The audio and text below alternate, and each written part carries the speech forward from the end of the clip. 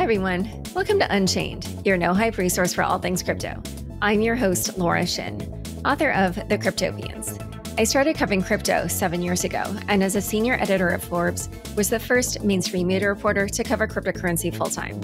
This is the August 2nd, 2022 episode of Unchained.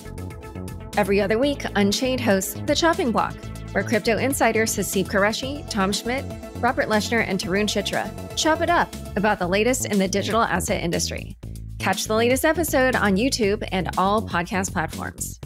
Oasis Network is one of the fastest growing layer 1 blockchains designed to support privacy, speed, and scalability in Web3. Learn more and join the community at oasisprotocol.org. With the Crypto.com app, you can buy, earn, and spend crypto in one place.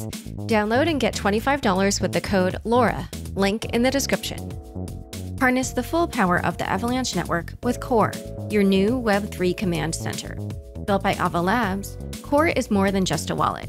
It's a non custodial browser extension engineered for users to seamlessly and securely experience Web3 like never before.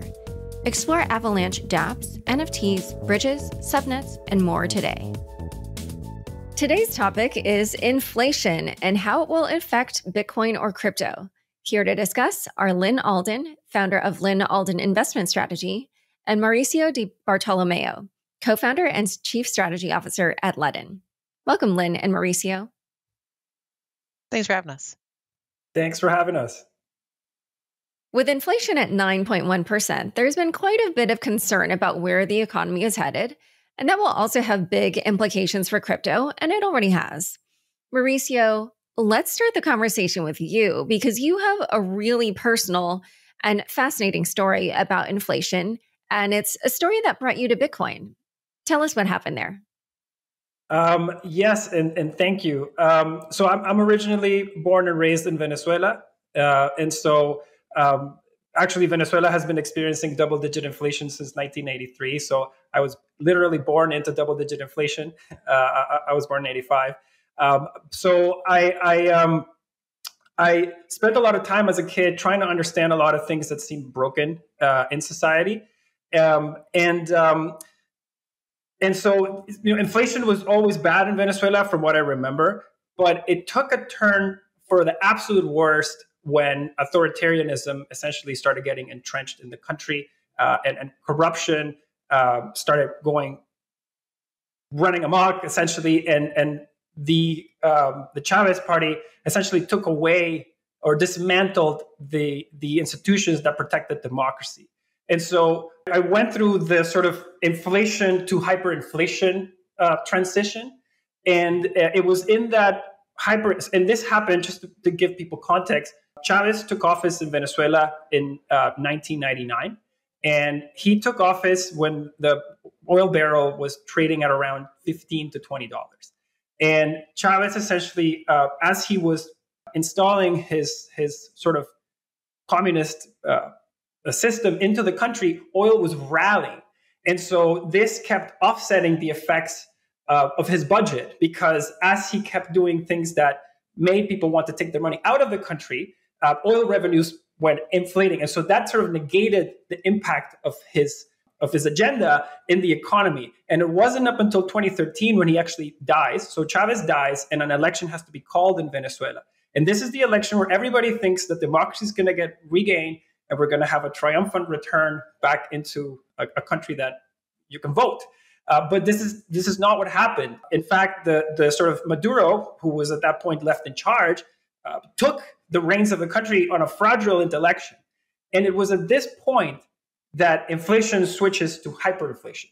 And, and from 2014 onwards, Venezuelan inflation goes from sub 100% to now into the thousands and eventually peaking into the millions of percent, it sort of surpassing the inflation that was seen historically in Zimbabwe, Argentina, and others. And when I found Bitcoin was in fact in during this turmoil. Um, as as many people were leaving Venezuela uh, because this hyperinflation despair created the biggest migration crisis in, in the history of America, of continental America, from Venezuela outwards. All of my friends were leaving, and they were depressed, and everybody was understandably very, very sad. In this, my youngest brother was actually uh, just graduating university, and we were all encouraging to leave the country, but he didn't want to leave. He refused because he didn't want to, just didn't want to leave. And in his reluctance, he starts trying to find businesses that work in this environment, and he starts mining Bitcoin. And when I went down to visit him again, he was essentially his positivity and his and the, the success of his business was infecting everyone around him. And all of a sudden his friends started mining Bitcoin. My parents started mining Bitcoin. My uncles and aunts and cousins started mining Bitcoin. And as a, I, I see they're the only guys with smiles as everybody else is leaving. And so this is the point. You know, we can go deeper into the story. Sorry, I was I overextended, but that's how I fell in love with Bitcoin. And uh, I knew we couldn't build a business in Venezuela to, to, to, grow and to contribute to the community. And so that's why we decided to set up Ledn in Canada uh, and, and we can get into what we do later at Ledn, but but it's a tool to help people in that situation. Yeah, I love how much your story kind of you know brings like a lot of this history to life because you know even if it's recent history um, a lot of times i feel like when we talk about the economy it can feel very abstract but actually lyn offers a really great perspective in that regard because a bunch of lyn's recent writings on all this have been analogizing the early like 2000s up until you know the present day to the period kind of from the 1920s to the 1940s so lyn can you explain your theory there and then also give us some light uh, shed some light on what you see as the current causes of uh, inflation? The way you know the way I, I would break that down is that you know a lot of countries have had very high inflation but if you look at the broad set of, of developed markets um, super high inflation is you know it's pretty constrained to certain decades and so the work that I did um, on that kind of cycle analysis was inspired originally by Ray Dalio. He proposed a long term debt cycle. And the theory there is that in normal credit cycles, right? So, so debt as a percentage of GDP builds up, some degree of mal- some of that is malinvestment. And then there's some sort of inevitable downturn, a contraction. It could be caused by the central bank trying to tighten it, or it could be some sort of external shock, or it could just run its course. And then you go through a period of deleveraging. But because of the way that our currency systems are designed, that's when policymakers will step in, they will cut interest rates, they will encourage credit growth again. And as a result, you generally don't deleverage all the way as a percentage of GDP than you did in the beginning of that cycle. Uh, and usually interest rates end up lower than they started that cycle. And so instead of looking like a debt sine wave, a debt percentage of GDP sine wave, instead you have like an upward sloping sine wave uh, cycle after cycle. You keep getting higher highs and higher lows in terms of debt as a percentage of GDP, and you get uh, lower highs and lower lows for interest rates. And so the long term debt cycle kind of says, well, what happens when you hit zero or in some cases mildly negative? You know, there's really not much more they can do. And you start to, you know, debt itself gets super high, interest rates are near zero. And then that's when you're more likely to experience, uh, you know, pretty significant currency devaluation. Um, basically, they run out of the tool to, to, you know, cut interest rates alone and so they shift towards deficit monetization and can shift towards uh, large fiscal deficits. It could be could, could be up to including things like helicopter money that we saw during the pandemic, basically literally sending people money. Um, but it can it can include all sorts of fiscal programs that are monetized in large part by the central bank. Generally speaking, I mean, there's there's studies that show once a country gets over 100% debt to GDP, I think the I think the study I was looking at before from Hirschman Capital was 130% debt to GDP there's like a 98% chance you're going to default in some way over the next 15 years. And if, if the liabilities are in your own currency, uh, you're, you're most likely going to quote unquote default through inflation, meaning that you know people will get paid back the number of units that they're owed, but but they will be significantly devalued, that they won't be worth the same as uh, anywhere near the kind of the same as when they're issued. And so most of my analysis shows that much like the you know the, the 1930s and the 20 tens roughly um, were kind of the aftermaths of these big uh, long-term debt cycles starting to pop, specifically the private debt cycle. And so in the 1929 crash, there was a lot of private debt coming undone, and you go through this very long, stagnant, disinflationary period. And then you had rising populism, rising economic discontent, both in the United States, but also uh, elsewhere in the world, especially in Europe. What we're seeing now is that you know the 2008 crisis happened. You had a, again, you had a big private debt bubble unfolding.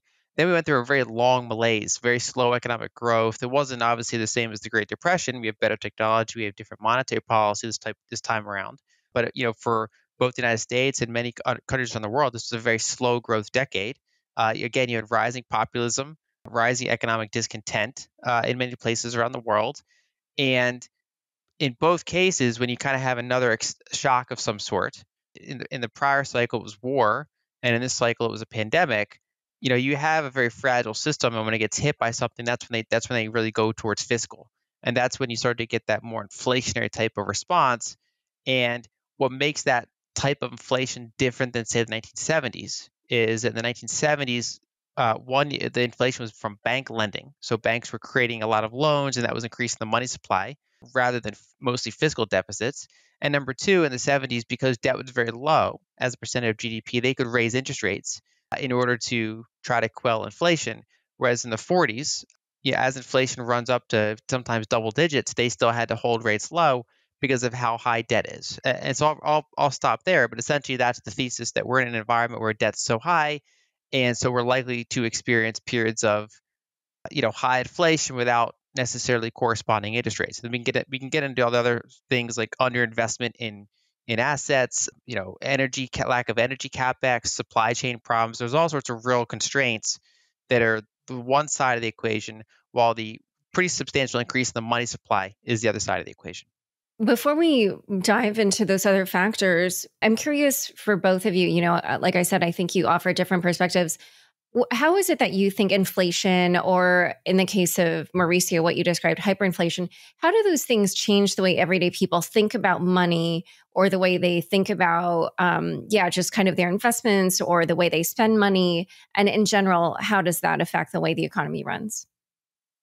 Yeah, yeah, I, I can give you kind of my two cents based on on what I saw in, in, in, Venezuela. And and for before I get into that, I want to make a quick distinction in the way I interpret inflation versus hyperinflation. Because I actually uh, people tend to think of inflation and hyperinflation as an extension of the same phenomenon, but I actually think that they're two very different phenomenons and they have different root causes. Uh, I think inflation, as we see it today and as we understand it in the U.S., is just a rational actor's response to an increase in the money supply. So if the money supply increases by 20%, I will reprice my assets by 20% because I, I still believe that the assets are valuable, just there's a different ratio of units to, to value. If in a hyperinflationary scenario, I actually think that this is a political issue. It's a, a hyperinflation kicks in when a person loses all faith in the central government, in the government and the central bank, and all bets are off and the government has no means to bring the economy back in the rails. And so it's basically hit the liquidation button.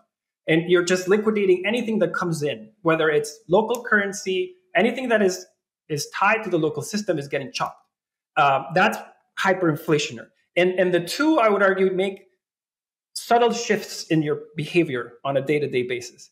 Right. So when it comes to inflation, you don't necessarily think of, you know, 20% inflation annually or 30% inflation annually as, as a shift that'll make you go and try to sell all your local currency immediately uh, and sort of not live off of it. It's, it's, a lo- it's a lot more manageable. When inflation starts running high, one of the things that starts happening, this is again subtle changes with inflation, but a subtle change with when inflation starts running double digits is time horizons become shorter. So if you were going to invest in a five-year project, now you're looking for a three-year project. And as, as inflation goes higher, you're looking for a two-year project and a one-year project and a three-month project. And the paybacks need to be higher and higher, and you keep looking for more and more aggressive returns. And that le- leads to short-term thinking and short-term behavior. When hyperinflation hits, it's a completely different game because I, I, I describe this as you having two jobs. You have your nine to five, which you have to work to get paid. And the second you get paid, you have another job that goes on until infinity because you need to get rid of that asset before it melts in 24 hours. And so you, you you're forced to become a trader, an investor. In many cases, what governments do in hyperinflation is they lock all access to dollars. And so when they do this, they effectively send people into digital assets or the barter system uh, because everything gets monetized. Uh, you know, uh, cars get monetized. Any asset that can get repriced gets monetized in lieu of the currency. And so it, it, it, I remember distinctly, you know, buying tires to then be able to trade them for sugar. Uh, and so these types of things, and this sounds crazy uh, for, for someone in North America to talk about today, but it's very real back there. And, and to Lyn's point, I actually, we can get into this later, but the strength of the dollar today is causing it's a wrecking ball for emerging markets and frontier markets right now. It's causing social discontent on a daily basis. And we're going to see populism rise up again in these places. Not big bear or bad news, but you just the writings in the wall. And so uh, I think it's a really interesting trend how a lot of these 1940s uh, analogies are, are, are playing out, in my opinion, will play out in the next few years. Yeah, I would just urge listeners who haven't heard the episode with Wences Casares to listen to that because he describes that very scenario that you're talking about, where his mother picked up uh, him and his sister from school, and she literally had her salary in paper bags, like in cash. And she made him and his sister run through the grocery aisles ahead of the person who was like updating all the prices on the food with a new sticker because the value of the Argentine peso was plummeting so rapidly. And they were you know, having to gather all the food and then run up to the cashier. And every time there was any money left over, she would send them back for more food. And his sister was like, "Why don't you just save your money and then we can, you know, buy more food later when when we need the food?" And his mom was like, "No, because it's going to be worth less tomorrow." And you know, that was it. It just was like such a it created such a big impression on him as a as a high schooler, and so that was why years later he kind of immediately understood the significance of Bitcoin. Lyn, do you want to weigh in on on this question about how inflation kind of changes the way people act? Uh, I think he described it perfectly. Uh, basically, uh, if you look at it from, let's say, the business perspective, for example, it's very hard to make long-term plans, especially for long-term contracts involving money, if you don't know what the value of money is going to be. And that can apply up, you know, high single-digit inflation, or it can, you know, it's even worse, obviously, the higher it gets. And I also agree that inflation and hyperinflation are fundamentally different. Generally, with hyperinflations, you know something severe happened to the economy's ability to out out out you know produce things right? So the, the kind of the most famous example might be weimar you know is after a disastrous war. There's other ones like you know disastrous um, uh, you know government changes kind of extreme government programs authoritarianism. Venezuela would be a, a key example zimbabwe you know another thing. Basically when you're, when you're kind of going after what what has people produce things and you're not having all those natural incentives work normally or or you're just severely impaired because of your infrastructure from a war from things like that those are the types of, of conditions that can lead to outright hyperinflation. And another factor is that you know to touch on uh, what Mauricio just said is that a lot of countries what makes you know a frontier an emerging market different than a developed market kind of at its core is that a lot of them, you know, their debts are denominated in in dollars or sometimes other currencies like euros, but most of it's dollars, which is a currency that they can't print. And so when you look at, say, the United States, Europe, Japan, these are developed countries, their currencies, I mean, their debts are denominated almost entirely in their own currencies. Uh, and so if they start to have a debt problem, they, you know, they have a lot of levers they can pull to kind of kind of have that move down more slowly. China is now in this in mostly this scenario as well. They have some dollar-based debts, but a lot of it is is based in their own currency, so they're kind of a hybrid at the moment still. But as you go out to emerging markets, they have these these external debts, and the problem is that you know the Federal Reserve can increase interest rates, they can do quantitative easing, they can do quantitative tightening, they can do things to purposely strengthen or weaken their currency. It's like imagine if you took out a loan for a house in in gold, right? And then gold went up in price relative to your currency, that'd be terrible because your your debts are getting stronger compared to your asset values and compared to your cash flows. And so that's something we see through, unfortunately through a lot of markets right now. And that's why you get these whenever you have that dollar strengthening period, you generally get emerging market crises. It's really worse on frontier markets. And that eventually cycles back and hits the United States because people are selling, you know, various uh, entities are selling dollar denominated assets to get dollars, which means they're really not buying a lot of treasuries and and also it's you know it's, it's very hard for American companies to, to keep selling goods and services at the same pace they have been because we're all interconnected. And so it's just it's a very challenging time. The money system really it's, it, that's been in place for decades is really kind of you know it's got a lot of issues right now that that is you know both in developed markets and then also in emerging markets. And I do think that yeah people's behavior changes around that based on what's happening with their money supply. So let's also now talk about the impact of inflation on Bitcoin. And why don't we limit the remarks to, you know, kind of the inflation that we're seeing here in the US and Europe? We can talk about hyperinflation a little bit later, um, although I, I think also we we sort of touched on that. So yeah, just what do you see as happening to Bitcoin in this environment? Again, a bit of a distinction between what behaviors are, are, are happening in North America versus the rest of the world. I think in North America, um, there's still a sort of tendency to think of Bitcoin as a risk asset and not necessarily as a reserve yet. And so it is because of this, I think, that you see it trading with a high correlation to, say, the Nasdaq or the S&P 500. And so the the, the thinking here around, I think, in North America and investor markets in general, people still see Bitcoin as one more tool to add a little bit of upside, I guess, or, or excitement to their portfolios. Uh, and, and they are sort of opportunity driven and they'll make decisions based on macroeconomic indicators the Fed, et cetera what's happening in other markets is very different because what I think we're about to see uh, as a result of this uh, wave of inflation that's affecting the rest of the world is the strength of the US dollar is places like Argentina, Colombia, um, you know, they're having to deal with local inflation and they're, ha- they're going to probably start placing restrictions around the dollar. Uh, this is exactly what happened in Venezuela. In Venezuela, they locked us all out of the dollar.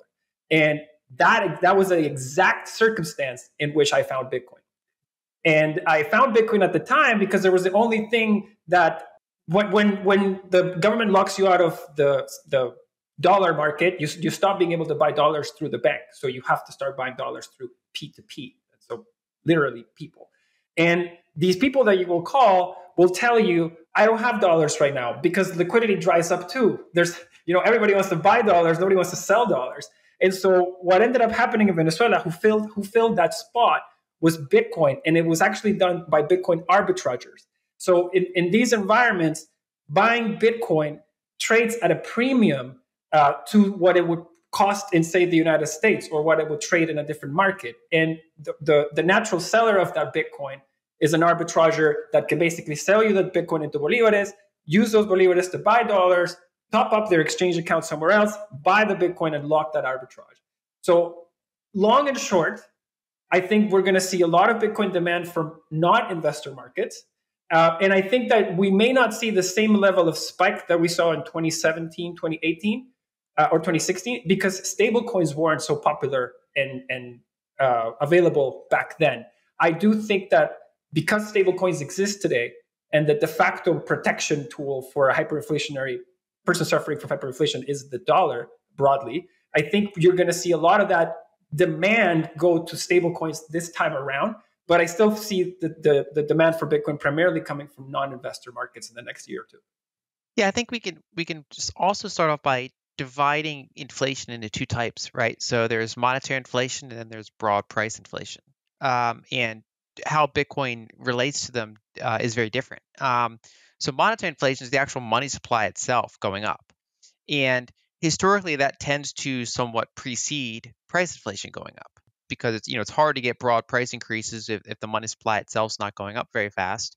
And when the money supply does go up very fast for, for multiple reasons uh, you know that takes a little bit of time to you know trickle into the economy and, and people start adjusting their prices upward until all you know the, the equilibrium gets refound at, at whatever higher rate the new prices levels will be.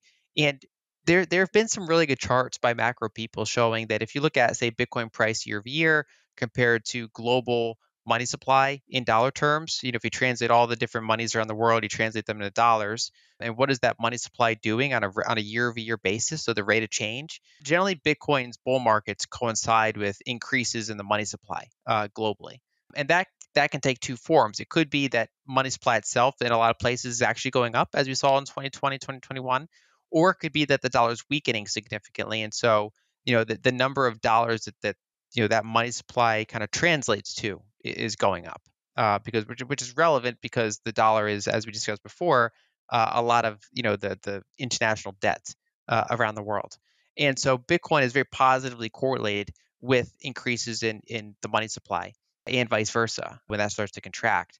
Now that we actually have you know unusually high price inflation, uh, in the developed world. We had, you know, the biggest broad money supply spike since the 1940s. That that kind of goes back to my prior analogy where I described it. And now we're getting one of the, you know, the biggest price inflation increases since the the 70s and the 40s. But we're also in a period where the central bank is is fighting back. So the Federal Reserve is trying to raise interest rates. They're no longer doing QE. They're starting to do small amounts of quantitative tightening. So so they're letting some bonds mature off their balance sheet. And so that's putting downward pressure on a lot of asset prices. And because Bitcoin is still small and, and volatile and not not uh, widely held and not super understood still by the broad public, it is perceived as a risk asset. A lot is being made of how low energy supplies caused by the Russian war in Ukraine has impacted inflation, particularly in Europe. How do you see the war continuing to impact inflation? Do you think it's possible to pull back inflation at all while Russia is still at war? Uh, well, so their natural gas prices spiked in late 2021 which was before the war broke out. Obviously, the war added a lot of uncertainty to the whole mix and is now contributing to inflation. But that energy supply side problem is bigger than just Russia and the war. And so, generally, flick back in history, there are these commodity cycles because you know it's the it's the industry where you can't control the price of your own product, uh, which makes running a business very hard. And so, when you have these kind of periods of oversupply, lo- prices are low, you know, the market starts to work, and and basically nobody wants to put new capital in uh, because they won't get good returns on on on their capital. But eventually, demand keeps going up, and eventually, supply starts to dwindle, uh, existing supplies, and you start to get more of a squeeze, and it pushes the price up, and that's what encourages new investment to come in. But then, of course, they end up overbuilding and causing the, the next cycle of oversupply. Uh, and, and so, because of the the the length of time it takes, especially for some of the long duration commodity uh, projects, and this this also involves you know oil and gas. Those tend to be like these say these 15 year long cycles. You know, you might have a decade decade of of you know kind of a higher higher like rising and higher prices, and like a decade or more of just like stagnant low prices oversupply. And so, partly just from where we are in the cycle, we are in a period where we you know we've had low prices for a while till recently and there's pretty low capex. And so now that we have kind of the the, the fiscal uh, stimulus to kind of increase demand for a period of time, and because we're just you know our, our supplies were we're, we're not keeping up with with kind of organic demand growth, uh, we're in this more inflationary kind of shortage type of environment for energy.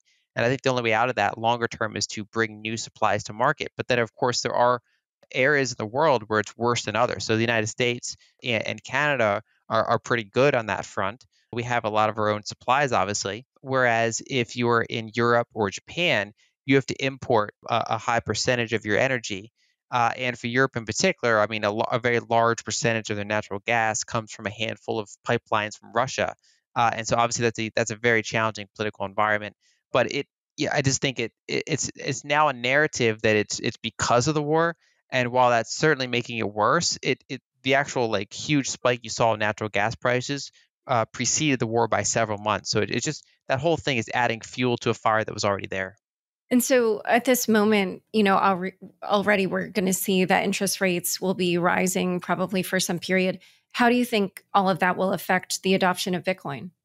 Yeah, so I, I, just wanted to basically add quickly on what Lyn said about how hard it is to increase oil production. So in Venezuela, big oil producing country, when Chavez took office, we were producing 3.5 million barrels of oil per day. Uh, today, Venezuela produces less than 700,000 barrels of oil per day. And so this just shows you how even to maintain your production capacity, you have to invest a great deal to just keep it the same. Otherwise, it just deteriorates. And I would argue that this is what's been happening everywhere outside of OECD countries that have this type of infrastructure. And so it, this just to sort of to highlight how difficult it is to bring bring back production online, even if you have the reserves to go explore. In the context of interest rates going higher and, and, and how that could potentially impact Bitcoin. My personal view is that as interest rates go higher and conditions continue to tighten, uh, that's going to put a headwind not just on Bitcoin, but most risk assets again. And because so much of the demand is disproportionately driven by US clients, like it'll take all of Argentina to buy up what Michael Saylor sells. So you know, it, it's it, it it it is it is a big deal. It is quite imbalanced in that sense, and so I think that because of that, it's going to be in many ways a, a, headwind. But what it will do, this increase of interest rates and, and strengthening the dollar, because that's what it does. I think that is going to shoot the demand for stablecoins internationally. So I think that both Bitcoin and stablecoins work as this sort of yin and yang in digital assets uh, that when one is not soaking up the, the, the the capital, the other one is. And so inevitably it gets to the same end point, but it's just the conduit on how it gets there can shift. Uh, that's kind of my view. I, I agree with that. And you know, one one caveat I would add is that you know if you if you map Bitcoin correlations onto different things, the correlation to interest rates are pretty mixed, but uh, in and of themselves, uh, it, like we discussed before, it's more linked to money supply growth. It's more linked to you can also link it to PMI cycles, so Purchasing Managers Index. It's kind of a a measure of economic growth or contraction, and more specifically acceleration or deceleration. Those are the types of things that that Bitcoin is heavily correlated with. So, for example, in 2017 during the huge bull run, uh, in Bitcoin and, and, broadly in crypto, the Federal Reserve is raising rates throughout that whole year. But the, the key difference was that you had a, a period of economic acceleration, so they could raise rates into a, a pretty strong economic environment. And so the, the other factors were, were better for Bitcoin than the raising rates uh, was bad for Bitcoin, right? So you had you had more good things going for you than bad things going for you. And where you really run into trouble is when the central bank, you know, the Fed is is hiking interest rates or or otherwise tightening monetary policy into a slowdown. And so that's what we saw in late 2018 when you had that big Bitcoin capitulation. And that's also the environment that we that we found ourselves in uh, throughout this year so far. And so those are the pretty dangerous environments for for really for risk assets in general. And then yes, as you go out the volatility spectrum towards uh, assets like Bitcoin, um, they tend to be you know pretty impacted by that. Uh, we are starting to see signs that when you look forward, you know maybe a couple quarters, they're going to have trouble raising rates probably past that point. You know, we're already starting to see forward market expectations of you know different ways that the market prices out what they think the Fed's going to do uh, over a given period of time. Those have already gone down compared to the levels that they were at, you know, a couple months ago and we're also you know we've seen yield curve inversion so even though they're increasing the the short end of the curve uh, the long end of the curve is is no longer going up in the same way that it was before and so you have that that inversion that is generally indicative of uh, potential recessionary conditions uh, upcoming and it usually starts to signal you know maybe not the very end of a tightening cycle but it it, it, it becomes increasingly hard to keep tightening policy when you have uh, an economic contraction of that type and so I, I do think that right now we're in this kind of dollar hardening period as as the Fed is kind of hiking into a slowdown. But I think you know if we were to repeat this conversation next year, I think we probably would be in a somewhat different you know policy regime by that point. So, in a moment, we're going to talk a little bit about um, how recent events have affected certain Bitcoin narratives, as well as this possible impending recession. But first, a quick word from the sponsors who make this show possible. Join over 10 million people using Crypto.com, the easiest place to buy, earn, and spend over 150 cryptocurrencies. Spend your crypto anywhere using the Crypto.com Visa card. Get up to 8% cash back instantly, plus 100% rebates for your Netflix, Spotify, and Amazon Prime subscriptions. Download the Crypto.com app now and get $25 with the code LAURA. Link in the description. Is your Web3 experience hindered by inadequate crypto wallets and browser extensions? Ava Labs has created Core, a free, non custodial browser extension engineered for Avalanche users to have a more seamless and secure Web3 experience. The best in class Avalanche Bridge now offers native support for the Bitcoin network. Put your Bitcoin to work in the robust DeFi ecosystem by bridging BTC to Avalanche today. With Core, you can also easily swap assets display your NFTs in style, store your assets in a ledger enabled wallet, and put real dollars into your crypto wallet in just a few clicks. Core is everything you need for a simple, secure, and convenient Web3 experience. Download the free Core browser extension from Google Chrome's App Store today. Oasis aims to offer improved privacy and scalability compared to other existing blockchains they feature 99% lower gas fees versus Ethereum, high throughput, instant finality, and defense against MEV, making it ideal for decentralized applications. Oasis invites prominent Web3 developers to apply for its grants program and receive full ecosystem support, along with up to $50,000 in grant funding to create dApps in DeFi, GameFi, or NFTs. Join the community of innovative developers today and build the future of Web3 with Oasis Network. Back to my conversation with Lyn and Mauricio. So, as we've been discussing, for like roughly the last year, there's been inflation, at least in the US, of 9.1%. And during that time, Bitcoin dropped in price from 31,000 to 20,000. And this is despite sort of the long time narrative that Bitcoin serves as a hedge against inflation. What do you think has happened to that narrative? Does it still hold up? If so, why did it not hold during this period? Or, you know, if not, why do you think it didn't hold?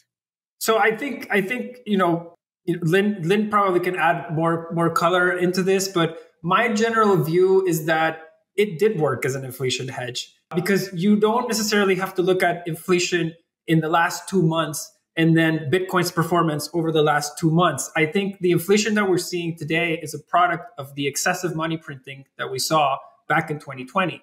And if you actually look at Bitcoin's price performance from the sort of darkest times of the COVID crisis, which is when every when, when the government sort of started printing on or turning on the jets, and you look at Bitcoin's price performance from say I don't know, April or June, like even a month or two post the actual COVID event, the base that you should use you should be using for that calculation is closer to five thousand or ten thousand dollars. And so when you when you draw that line from five to, from ten to twenty or from five to twenty, so you, I, I, actually think it, it has worked as a, a monetary based expansion hedge.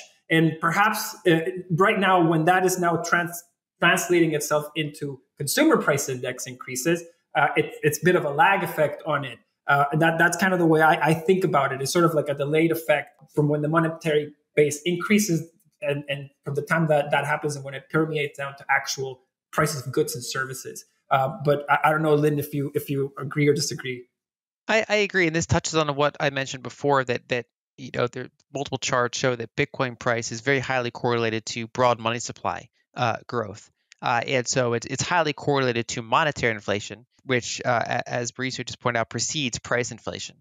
And so now that we're actually having the headline price inflation and we have the central bank trying their, you know, to raise rates into that, that's not the environment we should necessarily expect Bitcoin to do its best. I mean, if you look at broad money supply growth year over year, it's gone down significantly. It's still it's still positive over the past year, but that rate of change has slowed significantly compared to what it was doing in 2020 and early 2021. And so, and in that sense, it you basically it, it did serve as an inflation hedge. And now that inflation, ironically, is behind us as there's a, a different type of inflation here.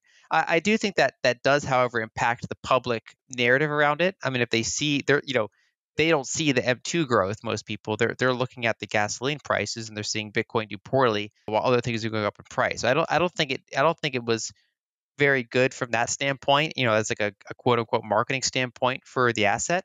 But I think that from a macro analyst type of lens, I think it, it behaved, you know, kind of rationally. And this, you know, it's always hard to predict ahead of time what it's going to do because, you know, an observation I made before is that, you know, it, it tends, Bitcoin tends to do very well in, say, rising uh, PMI environments, meaning economic expansion, tends to do poorly in falling PMI environments. And so my big question going into this year is what happens, you know, normally in, in a falling PMI environment, usually it's a disinflationary environment. Uh, if you don't have supply side inflation or, you know, like wartime finance, like huge fiscal types of things. And so this was the first down PMI period in a while where we'd have high inflation. And so my, you know, one of my questions was, what is Bitcoin going to do? And I think we got an answer to that, which was not great so far. I, I think the real test comes in the next couple years if the Fed is unable to keep tightening into that uh, situation, and you start to get that kind of longer run type of inflation, and you start to get, I think, the the second stage because right now they're in their they're in their aggressive tightening phase. I mean, we haven't had 75 basis point, you know, overnight incre- increases in the in the federal funds rate for decades, right? So I think that right now it's the the the bigger force is how how aggressively they're trying to tighten monetary policy into a slowdown more so than the headline inflation itself. It's so interesting, you know, because I have seen so much commentary from different people saying, "Oh, Bitcoin as an inflation hedge hasn't worked. What's the new narrative?" So I find your perspective here really interesting and and a really good point. But I did want to ask a little bit more about the uh, stablecoins point that Mauricio made earlier because I mean, I, I think that's so fascinating. And I feel like that could kind of undercut some of the interest in Bitcoin. So, as we kind of continue to see these economic conditions play out, how do you think we'll see that? You know, give us more detail on what you see that happening to, uh, sorry, what, what you see that doing to stablecoins and then how you see that affecting Bitcoin. So I, I largely agree, um, and I've been I've been pretty bullish on the proliferation of stablecoins uh, for the past couple years. Um, uh, something I wrote back, about back when I was analyzing Ethereum and other assets, basically saying that you know there's a lot of things I found concerning about some of those ecosystems, but that stablecoins was to me the clearest use case. Years ago, Bitcoin was the unit of account on offshore exchanges. You'd use that as your trading pair and but with the introduction of stablecoins, uh, it displaced Bitcoin as the you know kind of the asset you go back to as your unit of account. And then also, you know, we're seeing its usage in in you know for more practical purposes in these countries that are struggling with with with currency crisis. And you know, an Argentinian described it very well. He's like, you know, I have uh, local money for the next month, um, and then I have dollar like stable coins for the next say six months, twelve months, twenty four months and then anything that I want for like three to five year savings is you know in Bitcoin or real estate, things like that. And I think that's that's a reasonable way to think about it for a lot of those markets because you can't have all your liquid savings in something that can go up or down, you know, 80% in a pretty short period of time. But there's still, you know, when you look out long enough time horizon, I mean, Bitcoin's money supply is going up by you know, something like one and a half percent, and of course, every four years that rate's going to get cut in half, you know, basically and you have the dollar supply going up going up pretty rapidly. We have nine percent inflation and you know still very low interest rates. And so I, I think that you know over the long arc of time, Bitcoin is a harder asset than than dollars, but it doesn't serve everyone's kind of intermediate term savings needs in the way that stablecoins do. So that's why I'm I'm I'm long term bullish both on on Bitcoin and then intermediate to long term bullish on stablecoins. Now at, at the moment because you know, a lot of those stablecoins are used for that type of trading environment. You know, we have seen a reduction in the amount of stablecoins outstanding, and I'm only referring to the fiat, uh, the fully collateralized ones, not like the algorithmic ones. But you know, we've seen a reduction in, in tether circles. Uh, you know, that, that that's held up better. But overall, if you add them both together, there has been a reduction. Yeah, and by the way, there's been a reduction in the algorithmic ones too, but it wasn't yeah. the kind that anybody uh, would say is a positive one. But anyway, exactly. Yeah, that's a lot of yeah. You would think that over time, some of that demand would then flow into the, the quote unquote real stable coins, the actual collateralized ones. Um, but right now, yeah, we're seeing kind of a, a, a contraction stable coins. Um, but I do think that when this, you know, kind of uh, you know hardening is, is, kind of you know less aggressive, I do think we'll eventually see a, a liquidity come back into the ecosystem and probably the continued increase in stablecoin market cap. Yeah, no, I, I would agree with that. And so I, I like to think of it as um, so again, just judging or, or, going off of the experience I had in Venezuela, and, and, just to put some context as to how people get into digital assets in these markets, it's it's very different than the journey here. Uh, you know, the journey here can go through some. You know, if, if just to talk about specifics, you know, if somebody was a big, uh, you know, Austrian economics fan, and then they got really into sort of you know money supply, et cetera, and then they read a few books, and then they, they, they found this sort of intellectual curiosity path towards Bitcoin, and then they got there, and they had all this time to analyze and build this conviction. You know, contrast that with you just got paid, it's going to become half the next day. You are told to then go look for options that your government's trying to prevent you from, and you're then presented with these alternatives that are many times not in your language, uh, in a currency that you don't understand, in a format that is unknown to you, um, and you can't really even understand the terms and conditions. And so it's in that situation, the, the as many unknowns as you can remove from your equation, you will take it. You will be a happy camper. And so if if in this situation, I tell you that I have this dollar, but it just comes on a different wrapper, and you just have to get an address to get it and that and you can go out and buy it that is a much easier decision for me to make than to say oh i have this thing called bitcoin. It is quite volatile. Today it's worth this many dollars. Tomorrow you have to sell it to secure the number of dollars that you are now acquiring from me. Most people think in dollars and if you give them another thing to go in, in and out of they're just it, it makes the decision harder and so i think that because of that stable coins are they almost even have, I would argue, a human rights element to them because they allow you to opt out from a tyrannical monetary system into something you understand.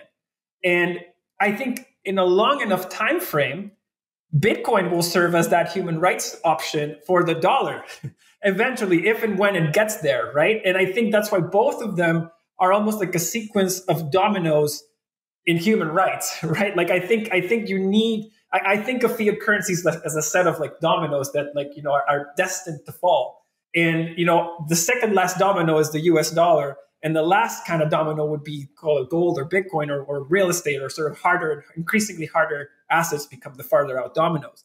And so this is how I see this playing out. I think right now my domino fell, Venezuela, right? Like our currency should have been dead 20 years ago. I've said this oftentimes. I, in my lifetime, I've removed 14 zeros from our currency, uh, and it's still out there, out there today. But people still flock to the other dominoes, right? And that's kind of how I see them. I see, I see stablecoins as almost like a necessity uh, for people to bridge their way into Bitcoin, and that's why we're big believers of stablecoins. Uh, you know, uh, myself and Atlantic. Yeah. And speaking of the human rights issue, I should say that we all met at the Human Rights Foundation's Oslo Freedom Forum, where definitely a lot of this was being discussed. And, you know, just to circle back to the stablecoins thing, I uh, recently was asked by somebody who, uh, like, you know, he's not in crypto, but um, was just sort of interested in it. And he said, Oh, don't you think that when central bank digital currencies get released, that then that will kill off Bitcoin? And I was like, oh, no, no, no, no, no. uh, what's going to happen is that then people will get used to transacting with a digital wallet, with, you know, some kind of blockchain based currency. They'll learn how to do security for it, et cetera.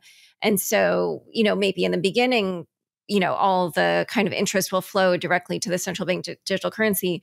But over time, I would imagine that that then just widens the market for things like Bitcoin. Yeah, I agree with you that probably in the short term we would see you know more interest in stablecoins so as we've been mentioning a lot of economists seem concerned that we're on the verge of a global recession. You know whether or not that actually happens sort of remains to be seen. But um, if we do find ourselves in one what do you expect the effect will be on bitcoin? It, the, the, recession can you know a, a global recession i think you know one of the things I like to think about is like the, the world is, is a set of interconnected systems. So it's it, it becomes kind of difficult for the, the entire globe to experience the same economic conditions at one point. Usually one place is suffering, the other place is, is thriving. So a good example right now is is what's happening in, in the, the Middle East, right? Like, like uh, Dubai, UAE, all those guys are getting, getting very active on the investment side. You know, they're announcing all these new funds and, and, and initiatives and again, you know, the world, the, the oil consumers are suffering, the oil producers are doing well. And so it's really kind of hard to, to kind of figure out where we'll all net out. Uh, but again, I think today, investor markets make up a disproportionate amount of the buying supply in Bitcoin. And so I think there will be a heavy tilt to what happens to these investor market economies. Because again, the, the, the consumers in these economies are disproportionately bigger than everyone else combined. And so, you know, if the US and Europe suffers, even though these aren't the countries that need Bitcoin the most, they will likely impact prices the most. And so I think it's, it, I guess it's not really a great answer, but it's, it's really hard to, to, uh, to kind of, for me to kind of assess out how it will shake out for Bitcoin because so much of the price is driven by the people that need it the least. And so that that kind of distorts the, the the signals. And i think as we as we go through so i one is that you know a lot of economic indicators do suggest that we're you know probably in the early phases of like a recession or recessionary like conditions you either have a significant economic slowdown or an, an, outright contraction depending on what region you're looking at and so for example europe uh, is generally in, in, you know in rougher shape than the united states but even the united states economy uh, looks really problematic right now. Uh, historically, Bitcoin tends to bottom before the depths of the recession, but of course, that the sample size for that the, that cycle is not very large. In that sense, what I'm referring to is the PMI cycle. So not all economic slowdowns result in recessions. And in the United States, for example, the you know the, the PMI cycle is you know the Purchase Managers Index. That's roughly a three-year cycle. Uh, and so you, you, get it's kind of correlated very strongly to the price action we've seen in, in, in, Bitcoin over the long term. And right now, you know, Bitcoin price has been going down, PMI has been going down. And so my overall base case would be to kind of expect a, a, a choppy period for a while. I think it's going to be uh, constrained uh, as you have, you know, PMI still going down. Uh, whether or not we see new new lows, I really don't know. Um, that that's more of a, a trading call, and there's all sorts of things like you know, there's there's pockets of leverage and liquidations that can happen, like we saw uh, recently. You know, you can never say which, which firm is going to end up having to, you know, basically sell at the bottom uh, and get liquidated. So there's all these like specific events that can you know either have Bitcoin already bottomed or still has yet to find a bottom. But the thing I would look towards mainly is the part in the cycle where liquidity stops getting worse, which I think will precede the bottom of the economic recession. And then that's the part where you probably want to be in digital assets again. That's where you that's where you probably want to be in Bitcoin, and that's where I would expect to see a lot of inflows back into stablecoins as well. So I, I still see struggle ahead, but I think that it'll probably end up bottoming before you know kind of the, the the economy does. But it remains to be seen. I mean, it depends. Every every cycle is going to be a little bit different. I think a lot of the pain's already you know you know been squeezed out of the market, but bottoms you know can take a long period of time. I mean, if you looked at prior uh, Bitcoin bear markets, you you can just chop along sideways in no man land, no man's land for the better part of a year or a couple years, and I wouldn't be shocked to see something like that happen again. Yeah, I I would second that because I have seen uh, those myself. We, you know, kind of spent uh, part of the last, you know, section of the conversation focused more on sort of the developed part of the world, but I did want to circle back to the developing economies. What's your sense of kind of like how the global inflation or these indicators of recession have affected the adoption of bitcoin in developing economies or you know as mauricio would say the people who need bitcoin more? So i mean Chainalysis showed that you know adoption rates among developing countries are, are generally higher on a per capita basis but but as mauricio pointed out the, the actual capital volumes are are largely driven by you know North America, Europe. That's where a lot of the capital is. So we do we do generally see in a lot of those markets that there is a lot of adoption because they're you know they're the ones that have a, a more obvious use case for it right away. If you there's a lot of people in the United States, for example, they're like, what what what use case could Bitcoin possibly have? I can't I can't conceive of a use case for this or stable coins or whatever asset we want to talk about. Whereas you know, if you look at any country that has authoritarianism in it, right, which according to Freedom House is is somewhere around half of the pop, of the world population lives in either authoritarianism or semi-authoritarianism. So the the self-custodial and censorship-resistant nature of Bitcoin is, is useful for them. And then two, the, the all those areas with with kind of persistent currency problems, persistently high inflation, the more alternatives they have, either to get dollar access or to get something even harder over the long term, like Bitcoin, that increases their their options to opt out uh, of, those currencies. And so I, I do think that's going to be a big story over the over the, the coming decade is more and more people in in countries uh, running into these issues, in, you know, shifting out into things like Bitcoin and stablecoins. Yeah, I, I mean, I, I agree. I think, you know, I, I keep going back to this concept that, you know, we're, we're about to, at least in my view, I think we're heading into some pretty hostile economic environments in many parts of LATAM, uh, particularly when it comes to dollars and accessing dollars. And I, I go back to, even though I, I, lo- I hate, I hate saying that uh, because I, I, you know, I've been through something very similar and it's very painful. Uh, and it was it is that same environment in which I found Bitcoin in the first place. And so the message that I've been repeating on and on to, to our team here today, because we over half of our clients come from Latin America, and that's largely because we offer the services in Spanish and, and we're kind of right place, right time.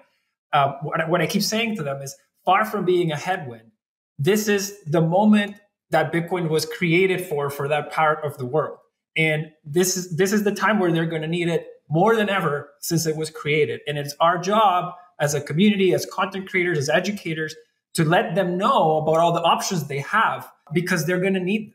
And again, to, to, to Lyn's point, it, it might not be the biggest dollar tickets, the ones that are coming on, but to those people, being able to protect $100, I would argue is more meaningful than for someone like Michael Saylor or someone else to be able to protect 10 to 20 million dollars. And so again, it, it goes back to how this impacts people uh, on, on their day to day, and and it's it's very very meaningful, and that's why it has the viralization potential. Because I have never seen somebody spread the word of something with so much joy as the Bitcoiners that were basically telling other people to mine Bitcoin in Venezuela in 2016, 2017. It was like telling somebody you found El Dorado. And, and I think that's going to happen again. I wish the best to everyone in these economies that are, that are kind of about to go through this, but you know, we're, we're, we're going to hopefully be right there trying to do our best to help. Well, I actually wanted to circle back to you and ask you ask you more specific questions about Venezuela because, so as far as I understand, uh, the government cracked down on Bitcoin mining there, and so I don't really know kind of like what uh, Bitcoin usage or adoption looks like on the ground nowadays, or even if in general people don't have as much access to it. You know, what is the kind of perception of it uh, after that experience?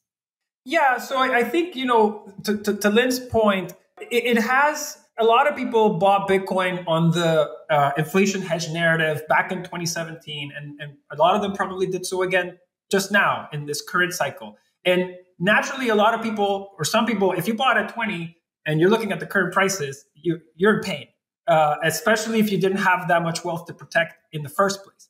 And so there has been this sort of unfortunate association with Bitcoin as a risk asset, even in those markets. And I think that's also what's driven many to even explore stablecoins in the first place.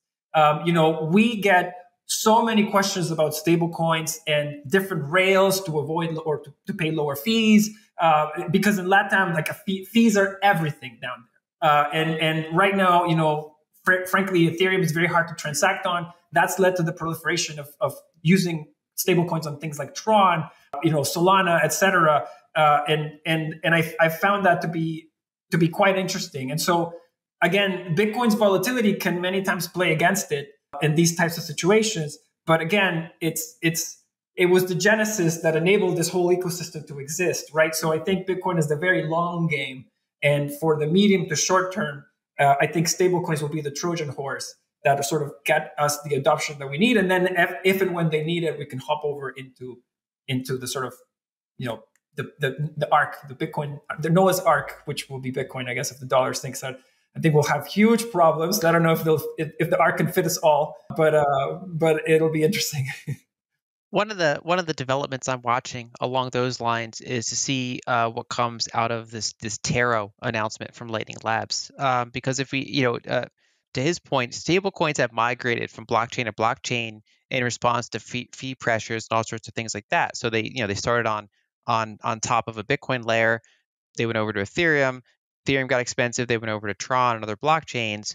And you know, a lot of people don't care really what what what blockchain it's on as long as it works and it's fast and it's it's cheap because I mean the the the, the stable coin itself is centralized anyway. What matters to them is that it's you know at least the central hub is outside of their country, and that that's the key part for them.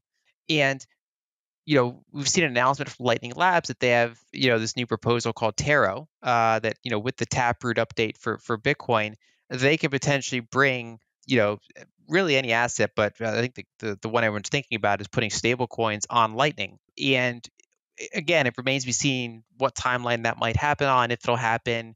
Uh, if it does happen, will people use it? But in theory, that's a very fast and cheap way to send around stable coins.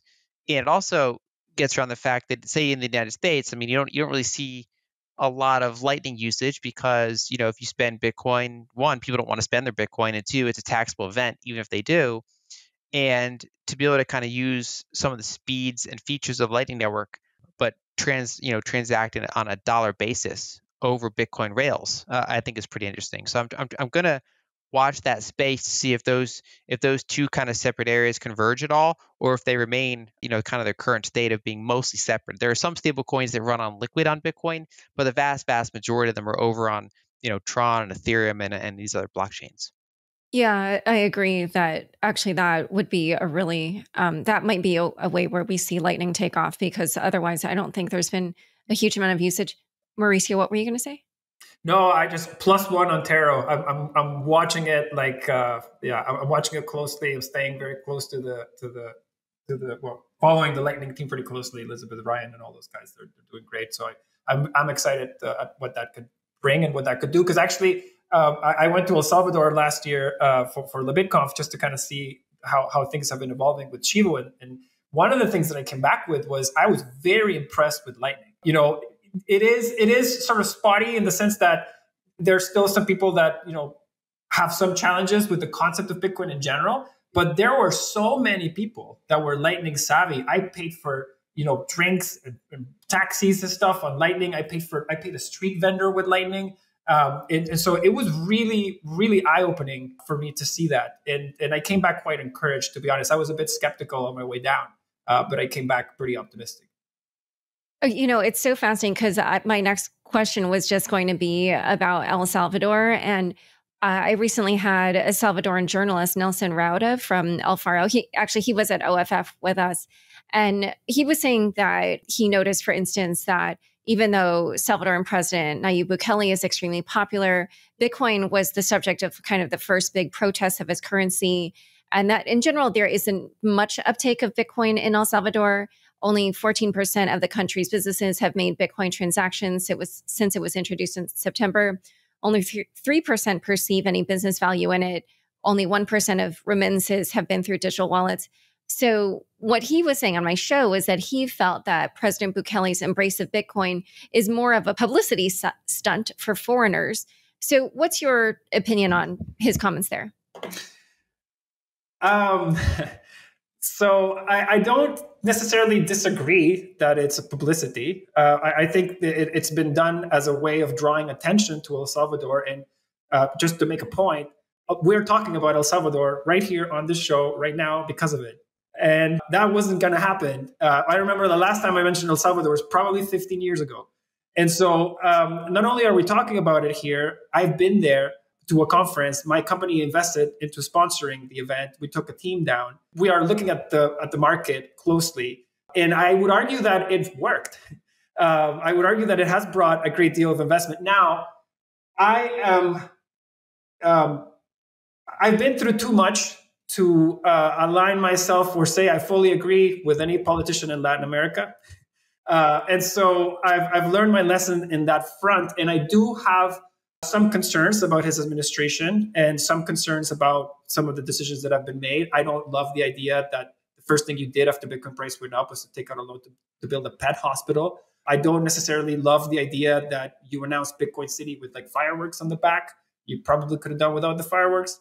But again, if he wanted to do this with ill intention, he could have launched his own token he could have done you know a lot of other things that would make it easier for for him or for that administration to be corrupt uh, around it. And i would argue that they the, the decisions that they've made and the assets that they've purchased have kind of signaled at least to me that they have good intentions.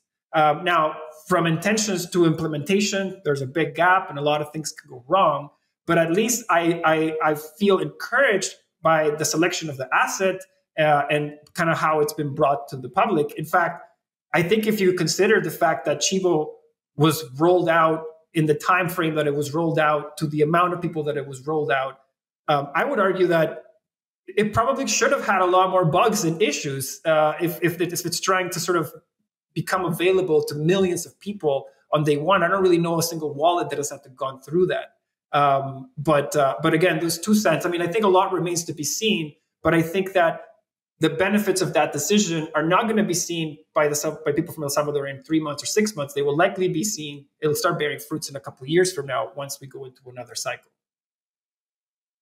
And for Lyn, I wanted to ask you about the initial plan to sell a $1 billion Bitcoin bond, which didn't happen. I was just curious for what your take was on that. So, one of the challenges that they're facing, uh, and now this has spread to a lot of frontier markets, is that um, going back to that whole um, dollar-based liability thing we were discussing earlier, uh, you know, they issue these dollar bonds, and global investors are not don't have a very strong appetite for for frontier market debt right now. And El Salvador, in particular, you know, when they started announcing Bitcoin, you know, their bonds started selling off, and it wasn't even necessarily because you know it was, it was actually doing any harm to their economy. Quite the contrary. At the bare minimum, I think it's been good for their tourism and their and their you know their brand awareness but nonetheless global investors got spooked around that along with you know other actions. It's hard it's hard to map out one to one you know always why why are global investors selling bonds of a specific country but it's not been a very great correlation. And so that you know the whole idea of that bitcoin bond potentially gives them another avenue to get capital with especially among say you know bitcoiners that want to see that country you know do well both for its own sake and because it's you know it's it's now like the the biggest test case for Bitcoin, and I think the challenge there is any sort of top down thing that that's going to be hard. I mean, you can argue that it maybe they came in too early, maybe they could have done something like you know, they could have put it a little bit in their reserves. They could have said, you know, they could have done tool. They could have made a legal tender, and they could have done various tools that are less aggressive than than the you know the kind of how hard they went into it. There's all sorts of different scenarios that they could have done, and I think because you know of the bear market conditions and things like that, it doesn't seem like there's a ton of demand for that, those bonds right now. But I think that I think that's not shelved. Last I heard, I'm not the best person to to follow up on that. I think that's still something that you know the the interested parties are talking to, and it is something I'm going to watch to see if they ever do get that issuance off the ground or not. I don't really have a strong opinion on the success of of how that's going to be at this point. Last year when it was announced, I mean, I, I talked to Adam Back about it. We were on like a podcast together, kind of just you know feeling out what they were going to do, and it's you know it's it's potentially optimistic that you know they could have a different way to get capital. But at the end of the day, it's going to come down to execution and whether or not the, the buyers show up. Yeah. So while I have you both on the show, I had to ask about the situation with crypto lending. Obviously, Mauricio, you're directly involved in that. Um, but we've seen numerous crypto lenders run into trouble, and two of them had to file for bankruptcy Celsius and Voyager. Um, in terms of BlockFi, another one of the troubled lenders, it was reported that Ledn did put in a bid to try to provide them new funding, although now it looks like BlockFi has an agreement to be acquired by FTX. So, how is it that Ledn was able to avoid not just the operational issues, but also be in a position to try to rescue another one of these failing lenders? Um, yeah, th- thank you for the question. I think it's a it's a hugely important topic, obviously, in, in our industry. I, and I think I would you know, to, to kind of give you a, a summarized version of what I think happened, I think this just sort of brought to light the fact that not all lending companies uh, were created equal and they were not all using the same or they were all not managing risk in the same way. And so if, if you look at most of the issues that led to these platforms being where they are now, um, they are not there is not one particular event that you can point to. There's it's a combination of things that add, that basically added up together. And so some of these platforms were getting client assets and turning around and placing them in DeFi protocols, and they were putting them on lending protocols and bridges, and these bridges got hacked, and they started suffering losses from that from from that outset, right? Then a lot of them were using the Anchor protocol and Terra to generate interest for their stable coins. And a few of them had a lot of close calls. And because this is all decentralized, it was very easy to identify who has had the close calls. When clients were able to associate platforms to Anchor, rightfully they started withdrawing assets from that platform. And when they started withdrawing assets from that platform, that started exposing another issue, which was that these platforms were creating asset mismatches because they were taking one asset that had no institutional market and they were converting it to a different asset so that they could lend it. And they created an asset mismatch into what they from what they owed the client into what they had currently earning interest somewhere else. And that created this rush of liquidity to try to get it back to the client. And a good example of this is ETH to staked ETH. There was no way to come back. And that created some issues. And the other one was that many companies got into maturity mismatching. They were taking money from clients, the clients could withdraw at any time, and they were turning around and financing one, two, or three year loan projects. And this, this basically meant that they didn't have the capital to fulfill the withdrawals. And when all this happened, that, that put companies in the same place. At Ledn, just very short, we don't expose our client assets to DeFi protocols. So we were not exposed to, we were not affected by any hacks or any issues. We have only Bitcoin and USDC. So those are the two most liquid assets, the biggest demand in, in, in the institutional space. We are the, the only in the first lender that does proof of reserve attestations every six months that our clients can verify that we gave the account at the right balance. That's unique to Ledn. And, and we have maturity matched across the board and we have assets matched across the board. And so this is really why we what we're not in the same situation and why our balance sheet is, is essentially intact. We didn't have any loan losses in any side of the book or the house, the institution or retail. And that puts us in a position where we can now look at opportunities uh, and, and, you know, hopefully cement ourselves as a bigger player going forward. And so then how were you generating yield? you, you lend you can still lend to institutions and you can do the proper credit analysis. As an example we didn't lend to three arrows. They didn't pass our, our counterparty onboarding analysis. Uh, but others did and we work with them still uh, you know and, and they've been great. We monitor almost on a daily basis the, our institution our institutional partners.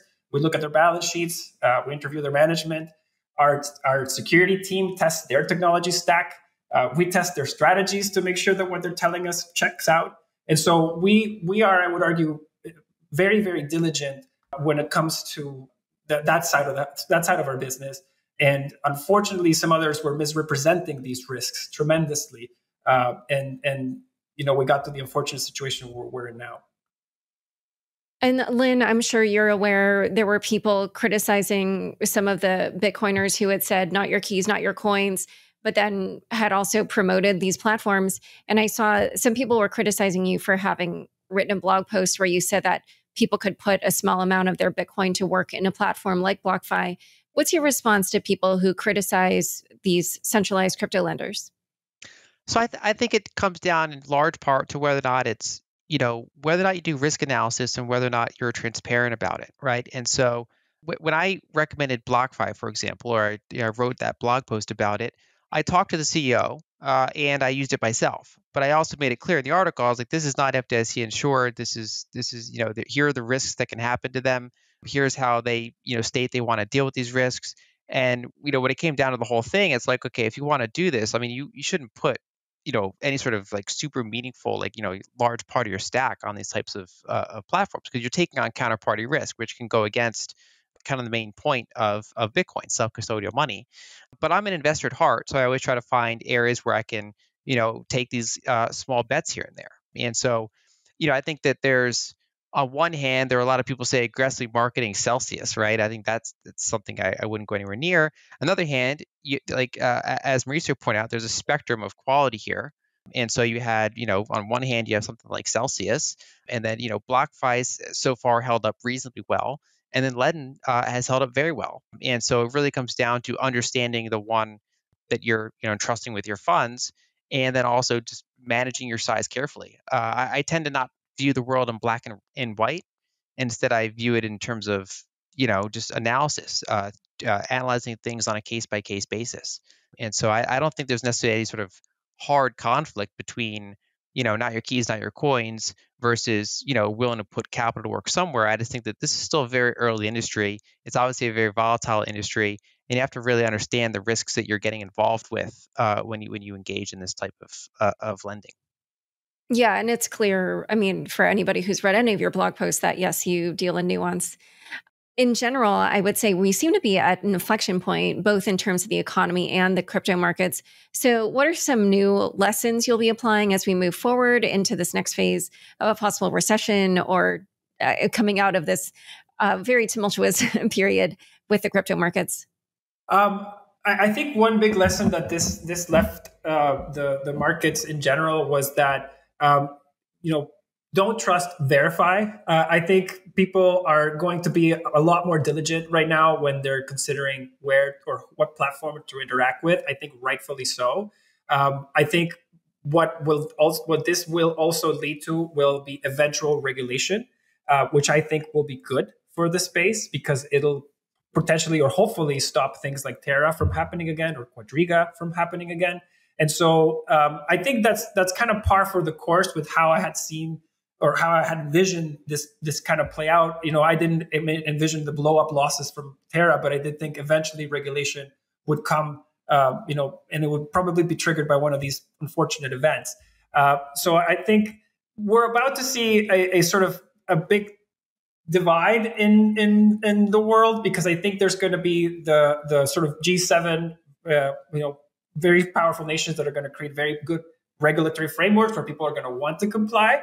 But I also think that the recession and the strength of the dollar is going to cause a lot of authoritarianism in other parts of the world where people will want to be opting out of those systems very quickly and, and to have no regard for that regulatory framework. And so I think there's going to be a, the, the poles are going to get pulled farther apart in that sense.